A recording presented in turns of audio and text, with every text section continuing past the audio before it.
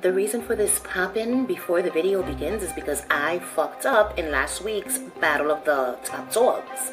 I said in the right corner we have our reigning champion Bea Smith versus Joan Ferguson and it wasn't supposed to be Bea versus Joan. It was supposed to be Kaz versus Joan. It was Jacs. It wasn't versus anyone because there was no one yet. So then it was Jacs versus Franky. Franky versus Bea. Bea versus Kaz. Kaz versus Joan. But I smoke a lot of weed. And so I dumbed out and I put Bea versus Joan. I just gotta pay more attention. So that was my mistake, but I just wanted to let you guys know. That way, when you see in this video Kaz and Joan because it, was a tie between these two fuckers. So it's to be Kaz and Joan versus Marie.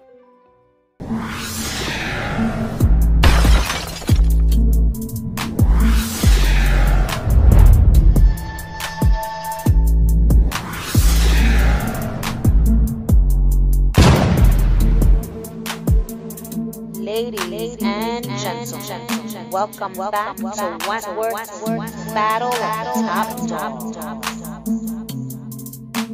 In the left corner, we have Kaz and Joan. In the right corner, we have their opponent, Marie Winter. Battle of the Top Dogs start, start, start now. I'm coming to you live from my bedroom, and I am here to do round six of Battle of the Wentworth Top Dogs. So, in today's episode, we're going to be discussing Marie Winter. So, as usual, I'm going to give you a little bit of background before we get into the judging. Marie is in prison for assaulting her son's doctor with her purse, okay? After he tells her that her son is brain dead and the best thing for him would be to take him off of life support. And out in the free world, she was a madam who owned brothels and shit, and she had like mad power. She was a powerful bitch out in the free world. Inside the halls of Wentworth, she ends up becoming top dog. She was only top dog from season 7, episode 4 or 5 until the final episode of season 7. So she was only top dog for a short time. So now we're going to get right into the judging. Category number one is her rules as top dog. So, as usual, I am not certain. I can't recall any set rules, but I'm assuming that they were pretty much the same as all the others. Do as I say, and everything will be alright. Oh, and whatever you do, don't fuck with Allie. So, that was probably like her, her one rule. Leave Allie the fuck alone. You know what I'm saying? Don't fuck with Allie, and everything is gonna be okay. So for this, you know, I'm gonna give her the same as I give all the other top dogs that don't have any real set rules of their own. A seven. How much did the women fear slash respect her? I don't think any of the women feared Marie because Marie wasn't fucking scary. There was nothing scary about this bitch. So I don't think they feared her, but I do believe that they respected her, but only because of who she was on the outside. So just because they didn't fear her, that's fine. But they did respect her, and to me, that counts for something. So she's gonna get six points for that. How did she get the position of top dog? In my opinion, she got the position of top dog in the most corny ass, whack ass way possible. Kaz has been killed, okay, slain in the halls of Wentworth viciously by Sean Brody. So what happens now? All the women are riled up, and Costa, Costa, how do you say her name? This bitch right here, she was the top contender to become top dog. When all of a sudden, Allie jumps up and she speaks on behalf of Marie. So she basically gives this big ass speech and tells the women, you know, Kaz cared about the women. Kaz was A, B, and C, and so is Marie, and they're exactly the same, and she's the one that you want for top dog, not Costa. So the women end up giving Marie their dessert bowls after Allie's speech. So it was fucking whack. So Allie basically spoke for her and convinced the women to vote for her instead of Costa, who was the other contender for top dog. You know what I'm saying? So they basically chose the lesser of two evils and gave Marie the job. The women also picked Marie as their top dog because Marie stood up to Costa in the dining hall when she grabbed her by the hair and almost snapped her neck back and said whatever the fuck it was that she said to her. So the women thought that she cared about them because she stood up to Costa, but that was not the case. I'm gonna give Marie six points for this.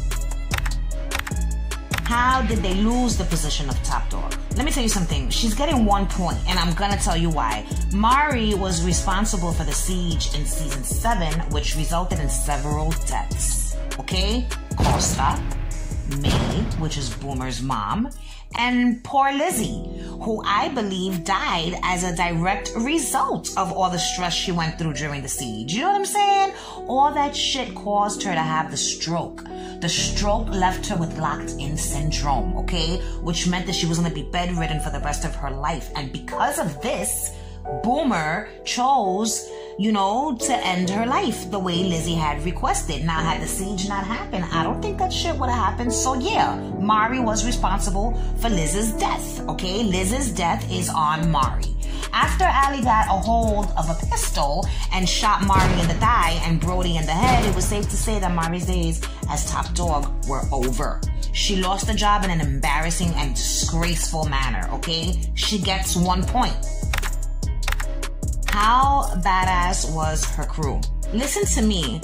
She had Drago in her crew. She had two of the most badass bitches in Wentworth. She had Rita Connors and she had Drago. These bitches are no joke. She's getting 10 points. If I could give her 20 points, 10 points for each of them, because that's how badass they are. But I can't do that, so she's gonna get 10 points. Badass crew she had, even though she wasn't shit herself how was their relationship with the staff? From what I saw with my eyes on Wentworth, she had an okay relationship with the staff up until the siege. She successfully seduced Mr. Jackson, okay? Vera didn't really have a beef with Marie until she found out about her and Will. So overall, the relationships with the staff, it was neutral. She didn't give them much issues except for the siege, you know what I'm saying? So I'm gonna give her an 8. And she would have got a 10 had she not fucked with Will's heart, okay? I didn't like that. Will is a great guy. Eso no se hace. How brutal slash violent were they? So, Marie was an instigator, not a fighter. She was a manipulator, not a fucking fighter. She let others handle her dirty work. She didn't have the muscle to do it herself. And she's getting seven points only because she's got heart. You know what I'm saying? She can't fight, but she has heart. And heart counts for a lot in my book. So I'm gonna give her seven points. How likable were they? So, fucking Marie Winter, alright? It was a 50 50. You either love the bitch or you hated the bitch. I didn't like the bitch. And after the part she played in Reb's death, I hated her. But while she was top dog for me, she was just a weirdo. You know what I'm saying? I didn't trust her, and I don't think the women really trusted her either. I did feel bad for her because I knew she was grieving the loss of her son. But that's no excuse for what she did. You know what I'm saying? Like, she used this teddy bear to sneak her drugs into the prison. That was some desperate ass, low ass shit that she did. It was fucking despicable, okay? I'm gonna give the bitch five points how much did she care about the women? Ay, bendito. So she started off not giving two fucks about the women, but by the end of her time on Wentworth, we see her save Ruby's life twice. We also see her save Joan's life when Joan was about to kill herself. So she did care, but she wasn't top dog when she saved these women's lives, okay? She just wasn't. So while she was top dog, what the fuck did she do to show that she cared about these women? Nothing. She cared about Allie, and that was it. And so for that, she gets five points. And she's lucky because I feel like that's too high. So the final category is on a scale of 1 to 10, what was Marie's overall rating as top dog? Oh shit. So Marie was absolutely terrible at the job. Okay. She was worse than Joan. She did nothing for the women. It was just for her own ego that she took the job. And her only goal was escaping the prison and being top dog would help her cause. You know what I'm saying? She fucking sucked. She gets zero points. So now it's time to calculate Marie's total score. Marie's total score is 55 points. She gets 55 points out of a possible 100, which means Marie is in fourth place. So a quick rundown of where we stand. In fifth place, we have Jacs. Marie coming in at number four. In third place, we have both Kaz and Joan. Franky Doyle taking the second place spot. And holding tight in first place is Bea Smith. Make sure you tune in for next week's Teal Tuesday when we will be discussing the next top dog in line, Allie Novak. If you like this video, you already know what to do. Like my shit, subscribe to my channel if you've not already, and turn on the notification bell so you can be alerted when I post videos in the future. Thanks for watching. Bye.